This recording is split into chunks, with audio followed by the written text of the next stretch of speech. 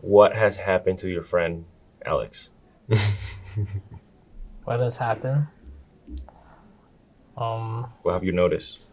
it's much more confidence approaching people, talking to different people, doing things that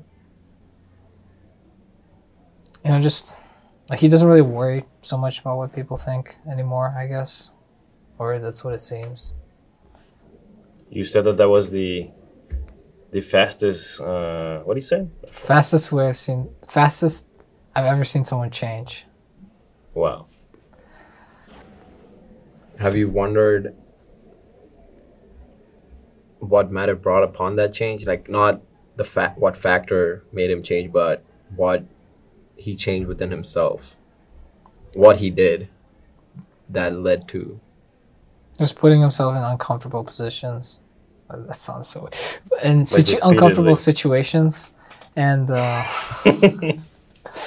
put himself in uncomfortable situations to kind of stretch that. Um, notion of what's normal, right? Yeah. Like he's Yeah, pushing the He broke, definition. he broke that it within himself. yeah, And I think if you look even deeper, he he allowed himself to fail. That's what I told That's him. Like, true, the purpose is to guess. fail. Uh, that was the whole purpose to fail and fail miserably to the point where you don't even care after whether you fail or not. You, he may be. He probably is. He gets happy when he fails. I'm pretty sure. Because he's happy that he tried it. happy when he fails. You're happy when you fail. Of course, Like you because truly I, are. I, I know. This is automatic. Yeah, because I know that I, I know that that way or that method's not possible in that specific instance. So you don't even have to.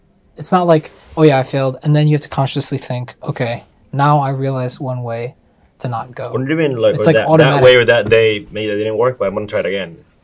Maybe there's a method or different else. But like you know, I know, I get like how I look at life is that life is just a series of hypotheses that you can just get to trying to see what works.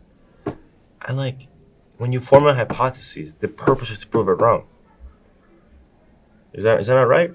Like if you're a scientist at CERN, would you be happier if your theories like you bombarded something and your theories proved right, or would you be happier if you if it gave you something unexpected? I mean, well, if it was right.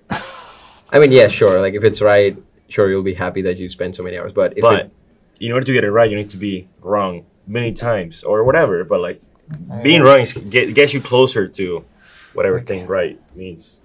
Put yourself in a position where you can be wrong and fail and learn. Right. When you look towards the future, are you you feel good about the future, or do you feel pessimistic. like you don't know what the hell's going on? That, yeah. The latter. Well, next time just take the elevator. Don't take the ladder. okay. the elevator's faster, and I guarantee you it will be a, a good future.